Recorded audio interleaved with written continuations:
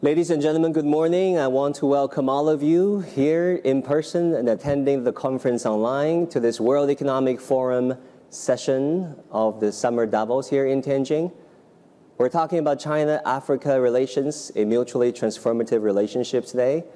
And uh, first of all, I really want to take this opportunity in welcome all of you um, to China, or shall I say back to China, after a multiple year absence. Uh, has been a difficult few years, I know that.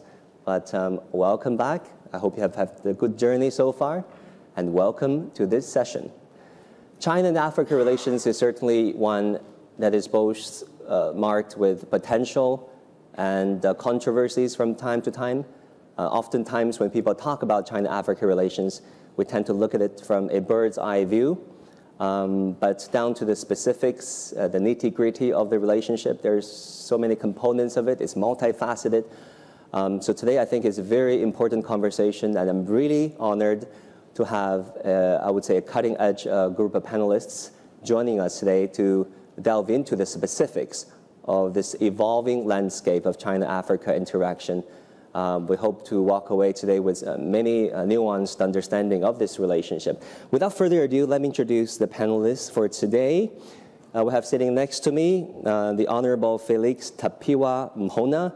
He's the Minister of Transport and Infrastructure Development of Zimbabwe. Welcome, sir. Great to see you. And also we have Madame Nonkululeko Nyembezi, the chairperson of Standard Bank Group of South Africa. That is the largest bank anywhere in Africa. We have Richard Ingvarson, Chief Executive Officer from Scan Global Logistics Asia. Um, last but certainly not least, um, Wang Yiwei is the professor from Renmin University from People's Republic of China who writes extensively about China-Africa relations, among other things. So let me start with you, Minister, if you don't mind. Uh, China-Africa relations, of course, is a huge topic, um, but China-Zimbabwe relation in particular uh, is one that is marked by friendship, uh, long-term friendship. Uh, there is a continuity of uh, government in your country, uh, so it is in China. it's a very strong partnership.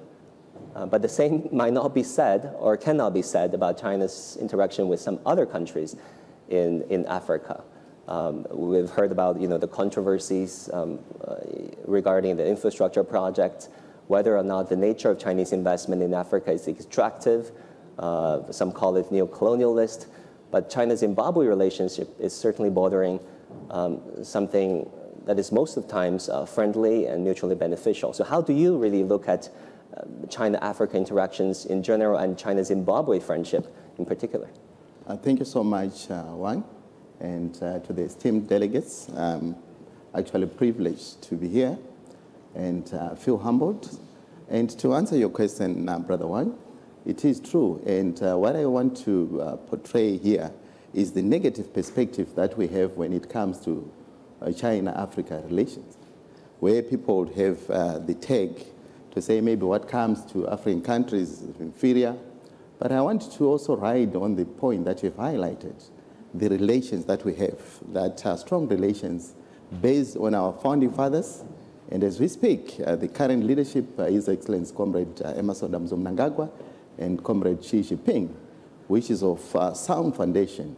And I'm happy to say, uh, yes, in Africa, you have seen that we are endowed with resources. And this is something that we must brag about as Africa.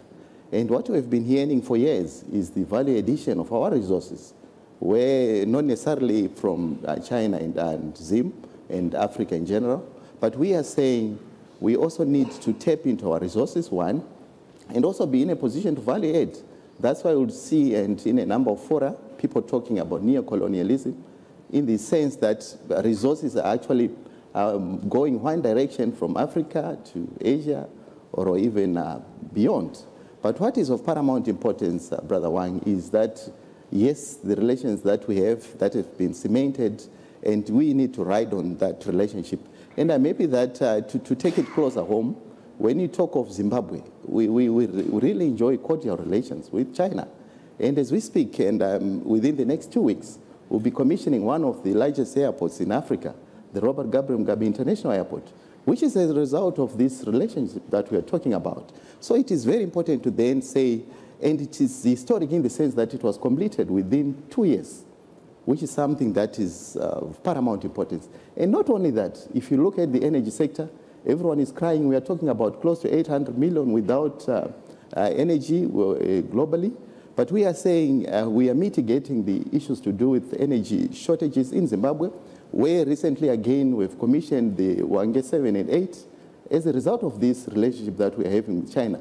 And above all, we've got one of the best parliaments that has been constructed again by this kind of relationship that we're talking about. So for us, we break as a country, but however, you raise the issues of controversies, and I'm sure this can be found in other jurisdictions where people are saying, in terms of continuity, uh, whether it's change of governments, but for us, it was quite stable. You know, for the past 40 years, we were having one president, and now we've got a brilliant president, Comrade Emmerson Mnangagwa. So there is continuity. And even it dates back to the liberation struggle, where we're also having uh, solace and comfort and training from China. So precisely, I can say we are very happy, and uh, it could be something that we must preach to the world that, yes, let us work. And this same philosophy of working hard is what we are also embracing as a country. So globally, I can say to the African countries, yes, what we only need to do is to make sure that we don't continue just exporting our raw materials, whether they are raw minerals, but we also need to uh, gravitate uh, towards the further step of uh, value adding our, our, resources. Thank you. Yeah, uh, recently we were talking to the president of DR Congo, um, the Honorable Mr. Uh, Tshisekedi, uh, there was this uh, you know, infrastructure for, for mining deal that was signed in the 1990s that uh, you know, got delayed a couple of times.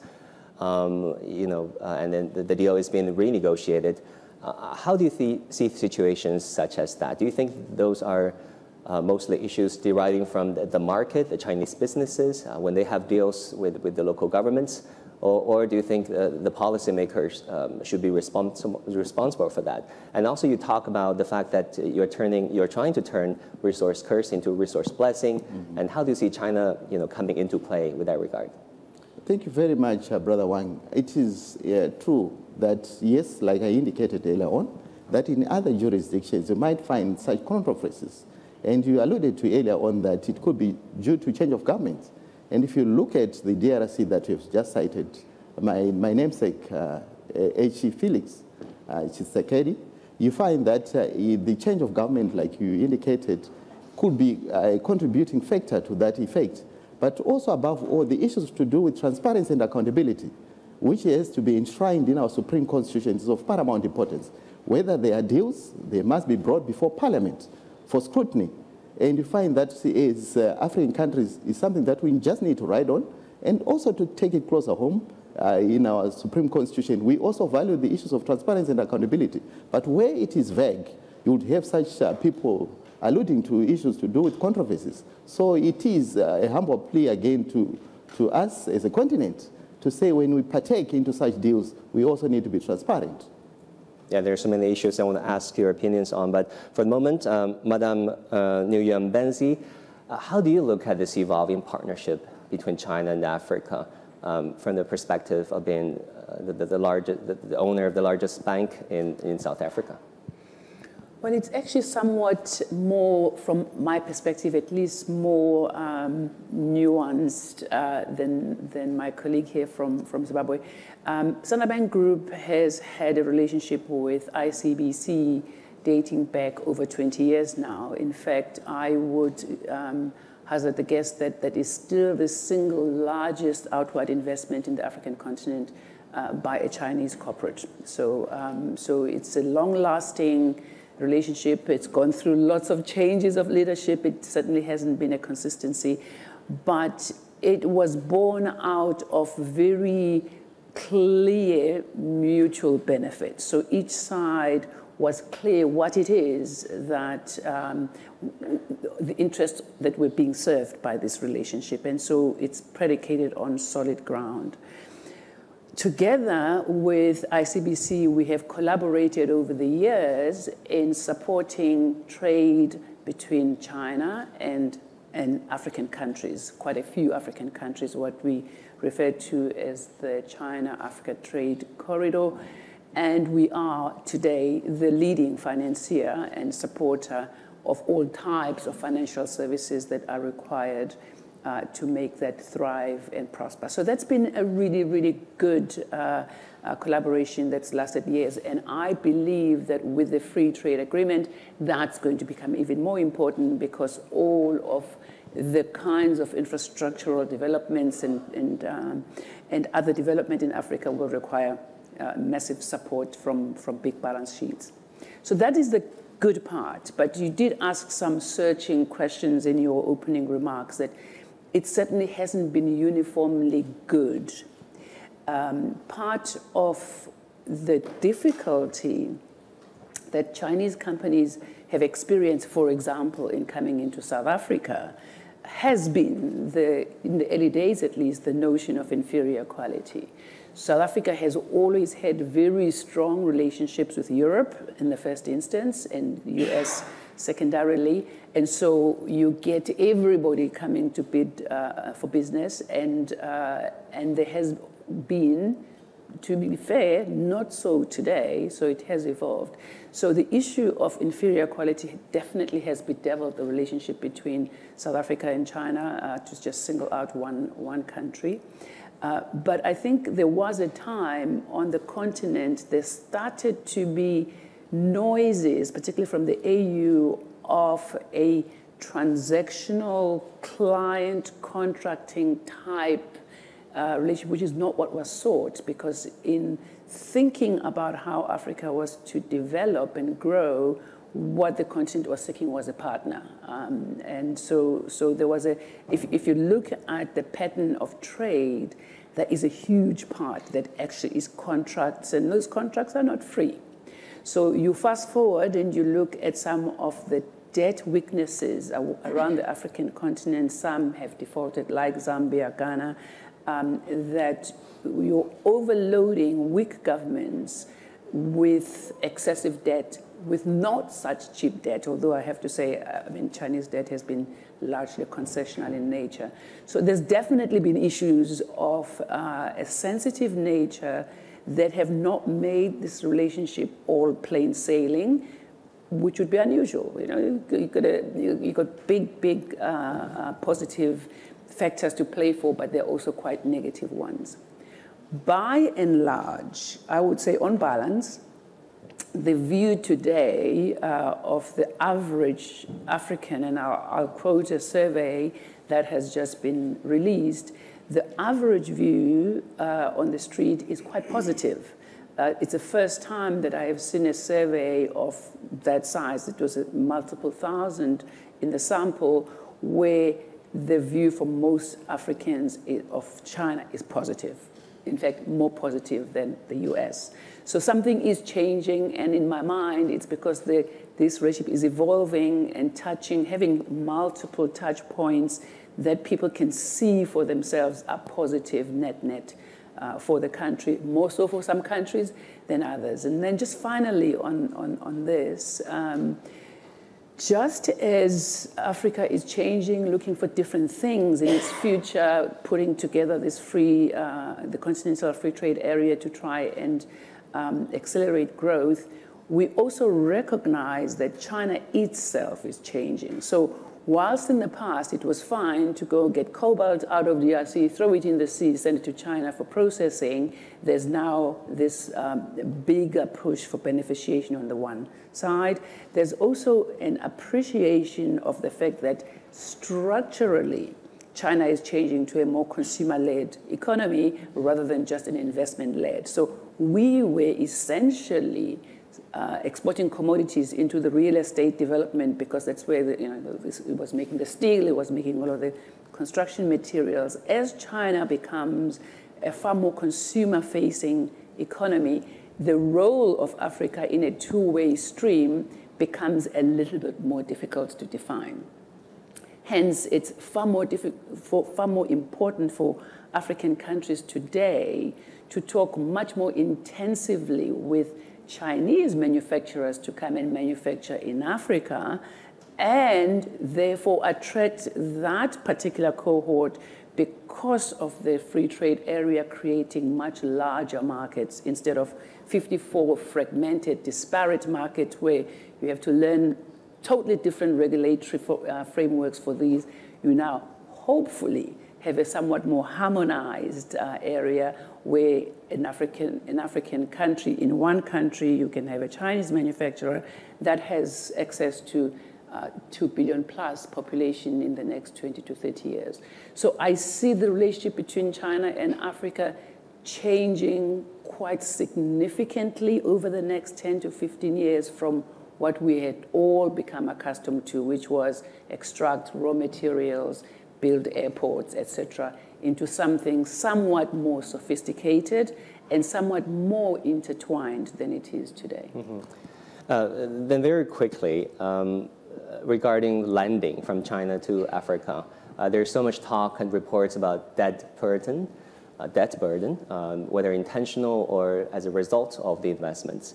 Uh, earlier on, you touched upon the, the, the, lending rates of Chinese banks towards African infrastructure projects that might be uh, higher than some national lendings from other countries. But uh, as far as we understood, it's still lower than uh, much of the commercial banks and some of the, the, the, the, rates are concessionary, as you have mentioned. So do you see that the debt burden, um, you know, resulting from the BRI or Chinese lending, um, first of all, do you think it's intentional? And if not, um, what do you see as a uh, potential solutions to them? Well, look, there's no question that the debt burden has not been helped by all of or, or whether or not there's a geopolitical flavor to the Chinese to, investments, um, strings attached, for example. Those are the, the, the common rhetorics. Well, I think when what is true is that African governments need to be crystal clear about their own development needs, right? So if the government of Zambia did not need a bridge or an airport, then there was no reason for them to agree to build the bridge or the airport. The fact that a Chinese manufacturer needed that to export their goods is a different story. So if we get to a place where we say, oh, now we've got all this infrastructure, we don't really need it for ourselves, we need it for the Chinese to get goods out, oh, well, sorry for you, you ought to have been much, much clearer right from the start. So there is uh, noise in the air conditioning. I don't think it's loud. I think that the infrastructure that's been built has by and large been needed by countries. Whether countries like Zimbabwe did two airports is debatable, but, but essentially I think by and large that has been needed. Um, secondly, it's true that where it is an SOE that is lending to the African country, um, that has typically been concessional funding. Where it has been a commercial bank, I don't believe that that is uniformly true, but that is true for the West as well. Uh, Western banks, commercial banks also lend at commercial rates, no, no difference. So that's not, I think, where the divergence happens. The divergence happens when there's trouble. So there is a well-established resolution framework um, that was established in the Paris Agreement many, many years ago by the multilateral, multilateral institutions. When a country defaults, here's how we deal with, um, with debt restructurings. China doesn't go with that. China has not signed up to that. So you've seen this play out in Zambia, where the one side that is governed by the multilateral frameworks is going in one direction, the Chinese uh, lenders going in another direction, and never the two could, could meet for three years. And, and, and, and Zambia has been in no man's land for three years. This is frightening to people. So anybody who today in Africa carries, or sovereign that carries um, a bilateral arrangement with China on the one side and a multilateral one with IMF, etc., must be thinking if this happened to us, we're in stuk, right? So, so it is, I think Africa caught in the middle here is neither China's fault, no, the other one's fault. It just is, it, it again drives home this issue of there are areas in the world where this collaboration, cooperation is so far more important. But Africa doesn't have the power to change that.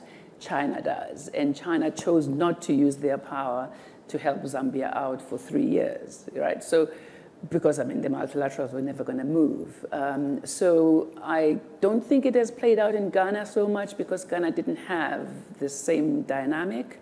So that is more, I think, where I was trying to get to, or the part of the debt. Uh, not that China was overburdening Africa necessarily. All right, thank you for those clarifications. Uh, Ricard, let me turn to you. Uh, so you're in logistics business. Um, you have a lot of uh, in-person experiences on the ground regarding how the Chinese uh, initiatives are transforming uh, the local markets. Uh, can you talk to us a little bit about um, China-Africa relations from your own perspective, from your business perspective? Okay, thanks, uh, Wang, and, and, good morning to everyone. I'm a bit overwhelmed being here with these experts, but I'm already very intrigued of, of listening and learning from you guys. So this is seen from my uh, humble side and, uh, and, and from, from what we do in our company. Uh, what I can say, we are very proud uh, to, to, to be uh, the biggest humanitarian um, transportation um, supplier for UNICEF and World Health Program, World Health Organization, World Food Program, and the peacekeeping forces. And, and as, as the lady said mm, yeah, in, in, the, in the sitting earlier, Africa is not one country, it's 54, and it's massively uh, uh, different, uh, with different needs and, and different outlooks uh, as it is, but it's a growing area. And for us, it's super important that the trade between China and, and the African continent uh, develop and, and prosper, uh, not only for imports of you know, vaccines and, and, and equipment for manufacturing, but also for exports, and not the traditional uh, only the raw materials, but um, you know, allowing and helping uh, customers that, that we care uh, cargo for to deliver it safely to landlocked areas or where maybe the airports are not fully delivered in a safe manner without, you know, um, being tempted to uh, uh, pay someone off because that's we have to uh, say there are areas in, in, in, in, Africa, there are areas in, in, in Europe as well, uh, as well in South America that are um, you know have a, have a bit of an issue of, uh, with corruption and so. So you, you just have to be mindful and and and be professional in, in the approaches.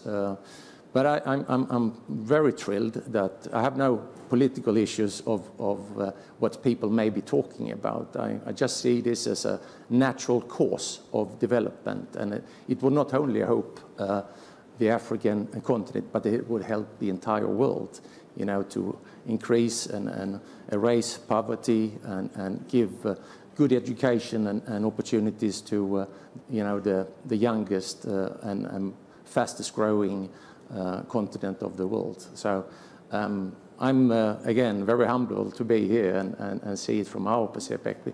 But I'm, um, yeah, we are, since uh, a few years, uh, operating ourselves in, uh, in seven, eight countries. Uh, latest addition was Kenya, and we will be in more countries coming up. and again, I'm, I'm, I'm talking from, from the transport industries side, and, and many, many of our friendly competitors has left uh, due to, to certain issues, uh, while others are going in with open eyes, uh, seeing it from an entrepreneurial side as well. Uh, earlier on, we talked about uh, some of the challenges over there, um, for example, cyber crimes that you, you mentioned. Um, but of course, Africa, like you said, is uh, the, the, youngest continent in yeah. the world with a huge potential, with this dynamic youth population. Uh, and, uh, progressive policies in many parts of Africa. How do you make sense of these competing dynamics? Yeah, good question. I mean, uh, over the days here, which has been fantastic, uh, there has been a lot of talks of AI and, and data change, exchange. Uh, I don't think it's only related to the countries. It's related to small companies being attacked by cybercrime. So we need to, you know, help educatedly on, on how to deal with these matters because it, it, if it strikes one uh, company or one country, it will you know, impact so many. So the, once there's exchange of data and you have a lot of data, there are temptations, of course, so, and, and, and educate people having the resources to you know, fight uh, the, the cybercrime with uh, cybersecurity. I think that's, that's vital for everyone. Uh, it's, it's too easy to click on something, and, and, uh, and you know, that can have a massive uh, impact for, for, for the organizations and, and countries as such. Yeah, exactly. Um, let me turn to you, Professor Wang. You wrote extensively about China Africa. I lost count how many articles you sent me over WeChat about China Africa issues. over, all Africa. Over the year. You've been to Africa, what, uh, to over a dozen countries now? Um, I haven't been to Africa. Uh, my apologies. Would love to, hopefully later this year for BRICS. Um, so, so talk to us about uh, how do you see as, the, of course, the complementarities between China and Africa? As China is aging, of course, and Africa being the youngest continent, and also the Chinese economy is transforming uh, into uh, hopefully a consumer uh, consumption-led and uh, consumption-driven economy, uh, whereas Africa is also trying to move up, move up the value chain. Um, how, how, do you see these, uh, these occurrences? Thank you. Uh, firstly, I'm uh, actually uh, not just focused on Africa. I, am more focused on Europe. I'm the humanitarian professor, the European Union. But why I focus on Europe in recent decades because of the Road Initiative, uh, and also I think I'm an international relations scholar. You need to focus on developing countries, developing continent, the most uh, dynamic, and hope uh, that by 2030, 40%, 42% of the, their youth will be Africans so this is hope. This is the future. This is not uh, the uh, new continent. Actually, the human beings originated in uh, Lucy, you know, millions of years ago is from I've heard that theory, so, yeah. so that's reason. Okay, also we are Chinese We are very humble. We learn a lot from Europe, you know, how to, how to deal with, uh, how to uh, work uh, better, you know, in Africa. The comparative advantage of China, I think, compared to Europe, I think three things. First, first visit trip of the foreign minister of China every year in the past uh, 17 years is to Africa.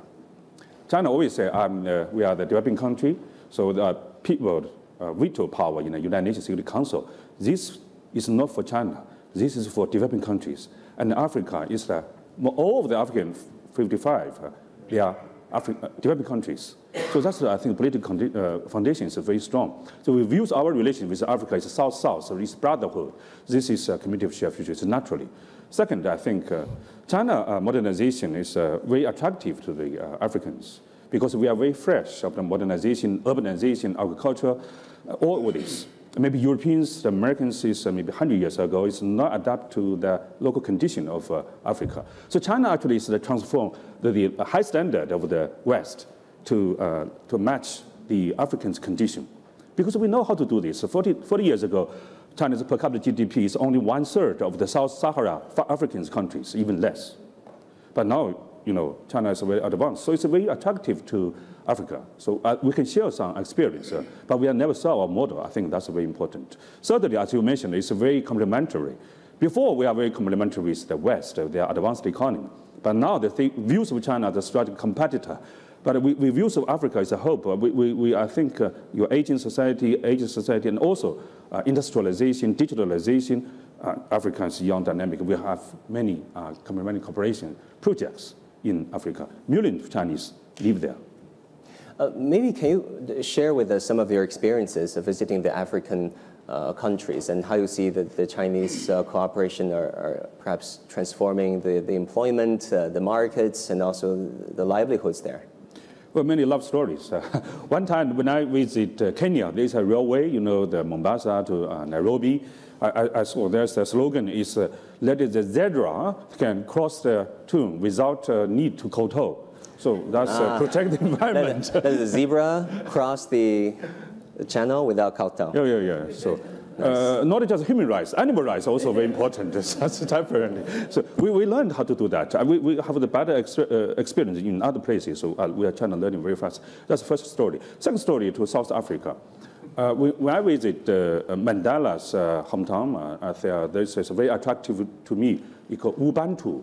Says, I am because we are. Okay, that's the community of shared future. Huh? You can, you know, in English, I always capital, but I is small in Chinese culture.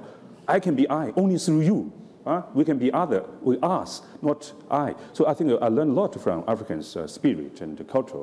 And another story is uh, in Kenya. Uh, again, Kenya is uh, uh, without the plastic. It's good, even more tightening than Germany and Europe. But the problem is they, they don't have this, and then we, we, if you eat the restaurants, some food remain, and then you cannot uh, batch and take home, and then cause some problems, even uh, uh, some, some virus. So China's approach is to. so China's approach is say, yes, high standard, but you need to transfer the high standard to match the local condition. So China is the bridge to connect the West and Africa. Can I just add something to that? I think it's very important to understand uh, the particular attraction of African countries uh, towards China. It is the fact that in our lifetime, we have seen a country lift that many people out of poverty. That, that we had not seen because clearly Europe took centuries to, to get to the same point. This is an experiment that has never been done in history.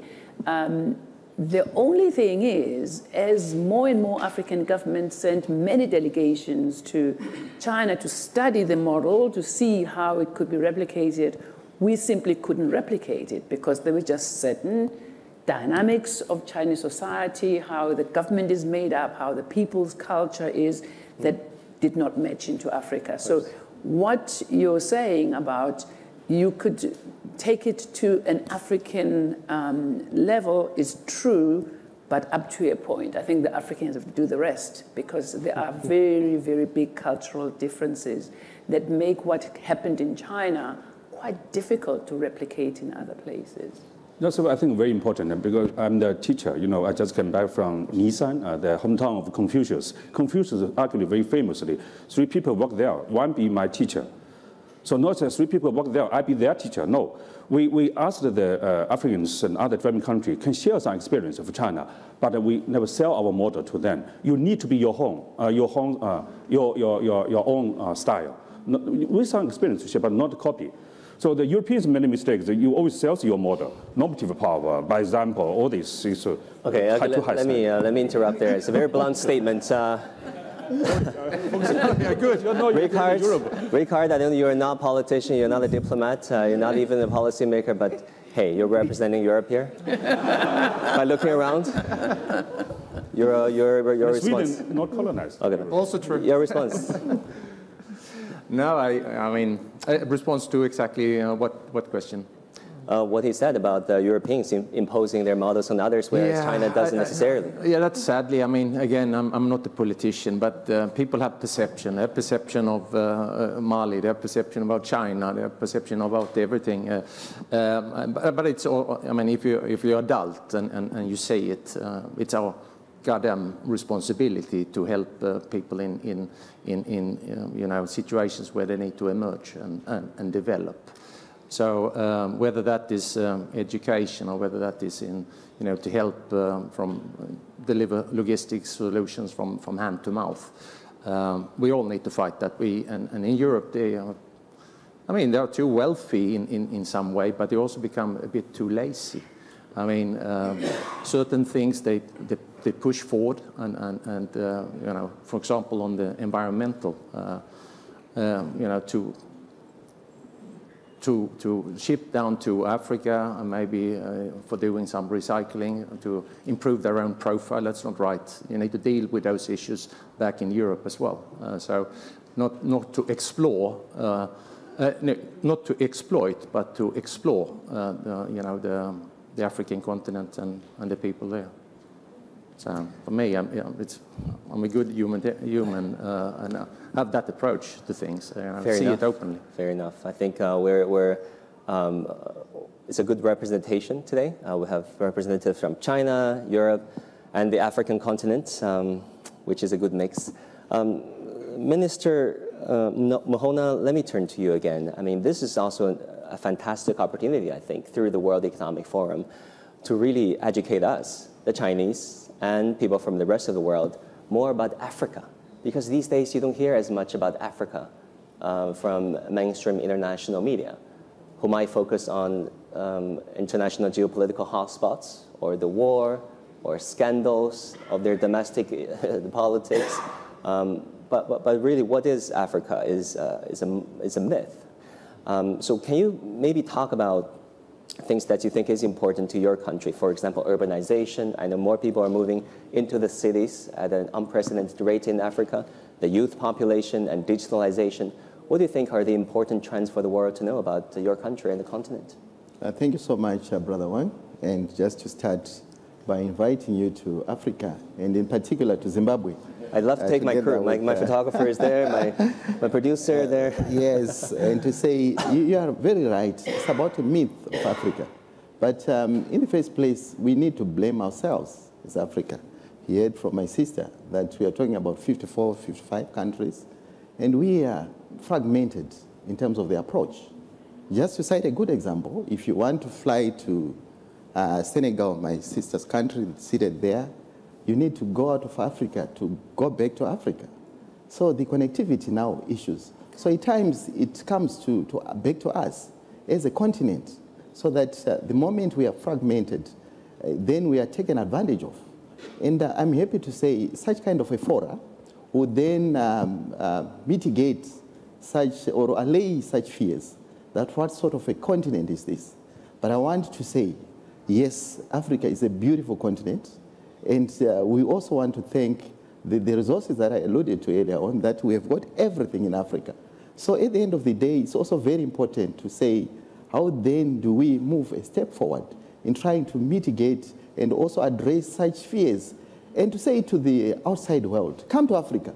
But you find, I can just cite a good example. There is cricket happening as we speak in Zimbabwe for world qualifiers, but it's not being broadcast. So it shows, like you, you alluded the, the to. what? Uh, world qualifiers for cricket. Okay, cricket. Yes, there are about 10 countries there, and also America is, is included. I'm just citing a good example. But you find that it's not in the public domain. So at, at times, it's the packaging of what is happening in Africa that is not within the purview of, of the, the generality. So at the end of the day, we are saying these are some of the issues that we need also to, to make sure we address. And we are saying is the digital um, era that we are in, and you talked about the uh, demographics in terms of the youth. We, uh, like in Zimbabwe, we are talking about 75, um, uh, 65 to 70 percent being the youth. So we've got the energy to drive. And you find that uh, the other myth, you'll be talking of ministers, they are maybe would of uh, advanced age, but I'm seated here, and which is also a myth. If you then talk of um, ministers coming from Africa, but we are very happy to, to have such a forum where we can articulate issues, where we can say to the, to the global world, come to Africa and uh, demystify what you hear. And a number of people, when they visit African countries, they are mesmerized. Whatever they see there, against what they hear, is totally different. So I think it also calls for a holistic approach as a continent so that we need to unite and also address some of the concerns uh, from a holistic perspective. Can you name two or three things that you think people from the outside world might be mesmerized by, as you said, uh, by Zimbabwe? The endowments, we are talking of close to 70 minerals that we can exploit just for Zimbabwe. And you are talking of the lithium, the, the one that is very topical here, the electric vehicles that we're talking about. And yesterday we managed to visit one of the factories here where they are producing about 460, 65 per day units. But they need the resources. And you find that we are in the top six uh, within the world when it comes to the production of uh, lithium. But we are saying lithium is moving as raw as it is without value adding it, which is something that if you value add per ton, you can get close to 70,000 per ton. But if you just export it as raw, you're getting $600 per ton, is an example. So you see that these are such kind of issues that we need to address to say yes, in terms of uh, infrastructure, the opportunities we have, the rail, we have the water bodies, and which are very magnificent. And if you talk of Zimbabwe, we break off close to 10,000 water bodies. So imagine such kind of uh, investment that you can then tap into. The maritime issues. So we are saying even the skies, open skies policy, and we ride on a policy of any given nation. And in particular in Zimbabwe, we say we are a friend to all and an enemy to none. But you find in other jurisdictions we are impeded where we have got uh, illegal sanctions imposed on us. So at times we then tend to side and move together with those who would uh, be on our side. Thank All right. Sure, sure. Um, thanks for these clarifications. Um, Madam Chairperson, let me turn to you. China had this huge, massive infrastructure program called the BRI, Belt and Road Initiative, and African, uh, Africa is uh, aggressively pursuing this free trade area initiative. Uh, how do you see the synergy between the two going forward? Yeah. Um, so clearly, if you remember what I said a little bit earlier about um, the next growth vector in the continent being the combination of consumer markets. So today, if you want to tap into the consumer space, you're talking about going to 54, 55 different markets. How many countries are there? I thought it was 54. it was 55. I heard you say 55. I'm staying with my 54. Um, with, with, so 55. Yes. Okay, so 55 countries. So, so what the free trade area will do then is to introduce tariff-free movement of goods between these 55 countries. So whilst we were looking for technology and manufacturing that was far more commodities based in the recent past, what this opens up is um, consumer facing products. Now you marry that with this population, this so-called demographic dividend in Africa, where in the next 10, 20 years, you're going to be seeing an Africa that is far more educated, that is far more urbanized, that is far more digitally savvy, just by from you know this youth factor uh, than before. You then take number three, the fact that actually it's a very useful lens to think of African countries as not just put the country lens aside and think about cities. That your, your fastest growing, top, top 10 fastest growing cities in the next 10, 20 years are going to be in Africa. You then overlay that with Belt and Road, which presumably would have already put in place the infrastructure for those consumer markets to be reachable by whoever comes into it. So, so I think that it's not just two factors coming together, but a multiplicity of factors that make it, in my mind, a compelling proposition for Africa, for Chinese manufacturers to seriously consider Africa as an expansion node for some of the things that they have done and done so successfully here. So if Europe and the US are anything to go by, as countries get richer and people demand higher wages, and we've seen it here, right? People start to demand higher wages, and therefore, what used to be a competitive uh, um, factor for China, which was a dirt cheap labor rate, starts to disappear out of the horizon. Where you going to where you going to go? All right, you're going to Vietnam, you're going to Philippines, but Africa is a real, realistic prospect for some of the low value addition manufacturing initially. Now, where do you see this today? You see it in Ethiopia. You see a lot more of Chinese manufacturers moving to Ethiopia doing simple things initially, but over time, even that will increase. So, so I think that uh, you know, just one was the underpinning was the extraction of minerals. The next one was Belt and Road in the infrastructure development. The next one becomes this uh, free trade area so that you get more integration. On top of that, you overlay the transfer of technology and the low scale manufacturing. And over time, more and more uh, sophisticated manufacturing. So it's a story that has got quite long legs and we'll be here in 20, 30 years' time looking back saying, actually, uh, we, were, we were naive. It happened in a much bigger, bigger scale than I'm saying now. And so you look at all of that and then just overlay climate change. Uh, climate change is an excellent, excellent example of a sector that A, has scale, it's got size, Two, China has significant IP and significant technology in the area. Africa has significant endowment in the area, not only in terms of raw material, but in terms of natural sunlight, wind, etc. And where the two combine in the kinds of sort of virtuous circle that I'm, I'm, I'm trying to get to.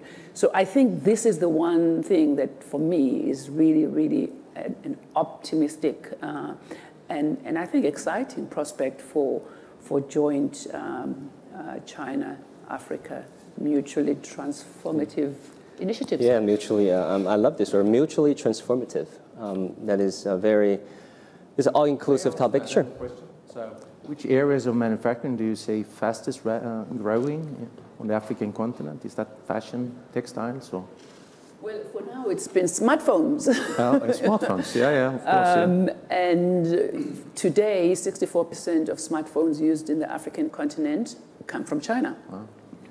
And for, for Africa, that is so because we skipped, completely leapfrogged the landline mm-hmm. phase. We, we had maybe 4 or 5% uh, penetration of landlines. We went straight in, into mobile. Mm-hmm. Number one. Number two, you have an, a disproportionate extent, uh, proportion of Africans who are unbanked.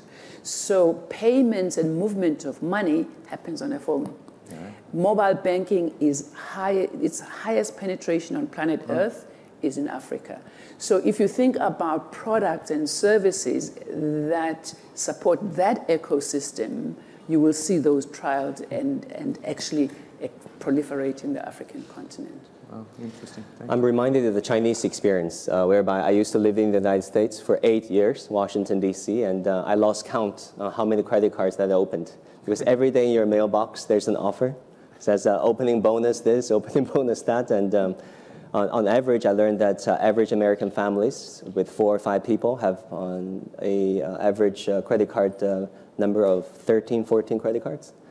But right back in China, um, I think we skipped the credit card um, phase, whereby we uh, leapfrogged into mobile payment, um, whereby back in China, there's a reverse cultural shock where I have to uh, get my WeChat Pay and Alipay ready. Uh, it's, it's, it's, a cashless society in China, so I'm reminded of that. Uh, but uh, in America, I heard these days uh, the credit card is also um, phasing out, or at least mobile payment is becoming much of an option here. I'm reminded by the organizer that we have about 10, 15 minutes left. I would like to open it up for, for questions, really. If any of you have a question, please identify yourself and ask.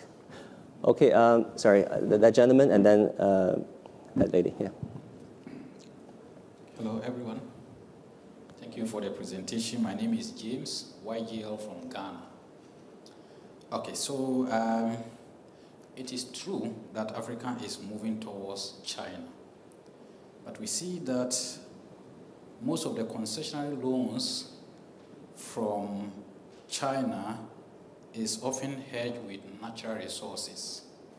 For instance, the Sinohydro loan to Ghana has been hedged with diamond in the forest. Civil society organizations and community people have spoken against this, organized demonstrations, and have often petitioned international organizations against the destruction of forests. Coupled with this is the issue of corruption and low quality of infrastructure. My question is, is this not likely going to lead to frictions between China and the local people at least? And the second question is Is this not new colonization in disguise? Thank you. Who would like to address the question to? Professor. I, suppose to represent the 1.4 billion Chinese Sorry to say that. Okay, I have the duty, of course, uh, to you. Uh, firstly, you say uh, Africa goes to China. Africa go to the future. China uh, work together with Africa towards the shared future. I think that's the. But Zimbabwe, you mentioned 2003. Zimbabwe is the South pioneer. Africa. Oh, sorry. Yeah. Zimbabwe is the first uh, country actually in uh, Africa. 2003 uh, have the policy of the look to the east, the China. Uh, 2003. So actually pioneer out there as a reason, you know, benefit a lot. Okay, not, not, but lose to China is want to share some experience with China. It's not, get the modernization. It's not just the, be the Chinese airlines. No, never. Okay, that's um, to the future, the better future. Oh, now uh, the five uh, economic growth, um, uh, growth, they are share some experience with China, even the training. In uh, Ethiopia, in uh, South Africa, they have their training. In China, we have the Central Party School to training the officials. That's very important. Not just politicians look at, look at, say, say back, and then practice in the grassroots. So that's the some, some stories. But the colonization. Okay, China uh, as a world factory, uh, before import lots of the oil and resources, materials to China, and then made, and then sells to Europe, uh, uh to the, for the world. So China polluted, China, uh, the, for, for, for that. That's kind of model change. So today we say synergies of the strategy of the Belt Initiative with the uh, 2063 of the African Union, uh, uh, of the, it's so-called the Made in Africa with China for the world. It's not just made in China.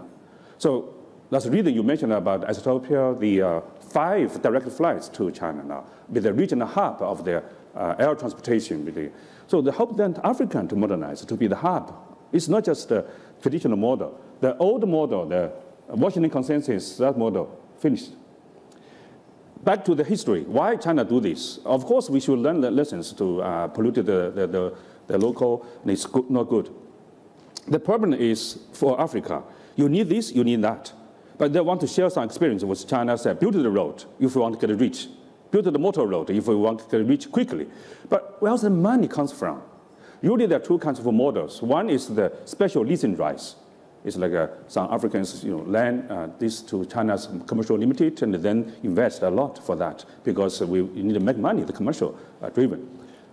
Another, if you can have not the special leasing rights, sometimes you have the resources and then give Chinese companies to deploy and then earn the money and invest in infrastructure. So this China also did it before. We polluted, we destroyed the uh, forest. unfortunately, so China, at the beginning, yes, did this, but now we learn from this. Now in South Africa, in uh, uh, they, want to learn from China's uh, so-called the North Shelter Belt program. You know, what, is, what is that? North? 三北防护林. Huh? 三北防护林. Ah, the, the, ah. the three north shelter uh, program. Shelter program. program. because of the desert, the you know, the desert and the expansion. So how China solve this problem to let the desert be the uh, planet. So, so that kind of story is now so-called the Green Great Wall in South Africa. Not just South Africa, all South Africa. So that kind of story is changing. Okay, ma'am. I hope it's okay. I have a yeah. quick comment and then a, a, question that's completely different. The comment is about uh, Europe exporting its models, which of course uh, is history too. But I am a professor, sorry, my name is Joanna Bryson, professor of ethics and technology at the Hertie School in Germany.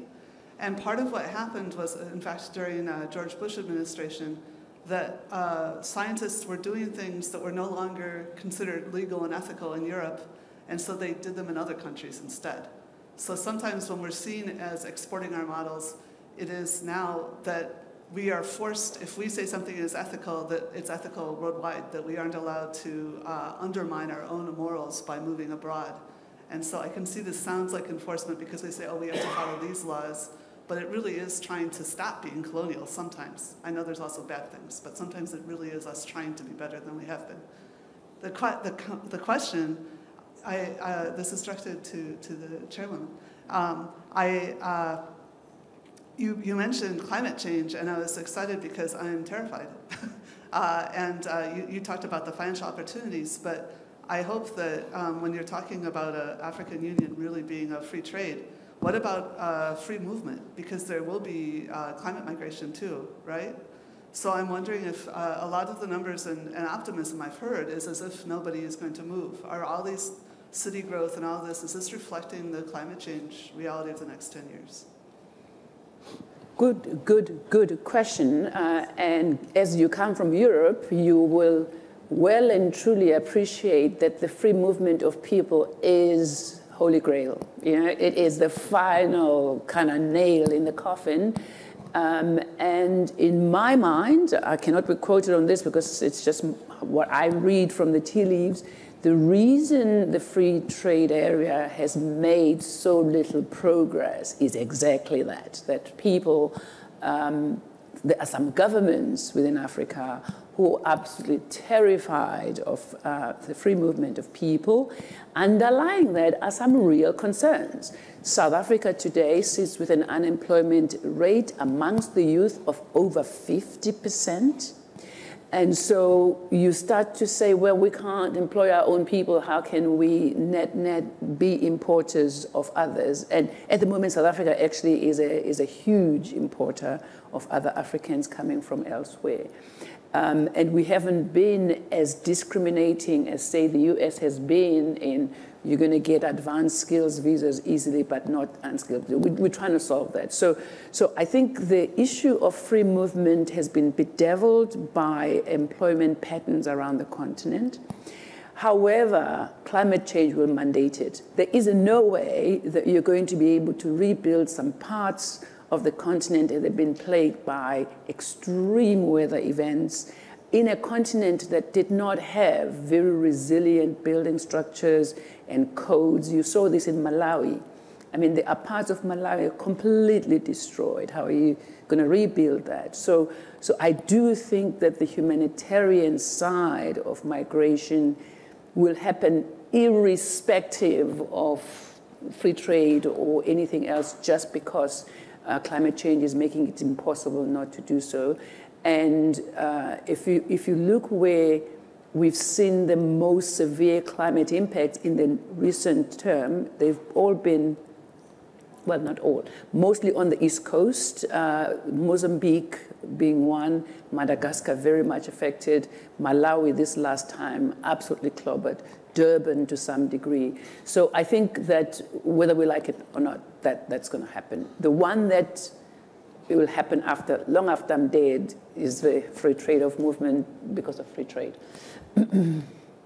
Great. Um, I think, uh, do we have time for one more question? Yes? All right, please. Um, my question is uh, to Mr. Minister. And uh, for your country, uh, which sector is most needed to be invested in infrastructure, um, energy, or mining? Thank you. Uh, thank you so much, uh, Madam. and I'm happy to say uh, it's broad.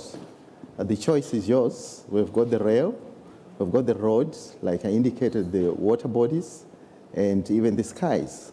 So, so we're open to business.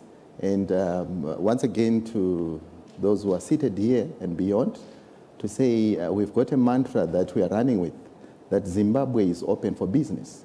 So there are vast opportunities that you can tap into. So feel free, I'm, I'm the Minister of Infrastructure, we can engage. And if you've got a particular sector that you want, we can start working on it right now. Thank you. Get his WeChat after the session. All right, so uh, finally, I want to take this opportunity to really thank all our panelists for traveling all the way uh, to Tianjin, China. Um, I, I, hope that you have had a great time, as uh, I have had. Has been a great World Economic Forum session. Uh, thank you for this very lively discussion and debate. I think uh, it's fair to say that we all walk away better informed um, about the nuance of this relationship and about Africa. Um, we don't necessarily all the time see eye to eye with each other on all the issues, um, but I think uh, in China we say that uh, with more debate, uh, the truth becomes clearer. And I hope this session achieves just that. Um, thank you all once again, and thank our audience for being here and our viewers watching this live streaming. Thank you very much.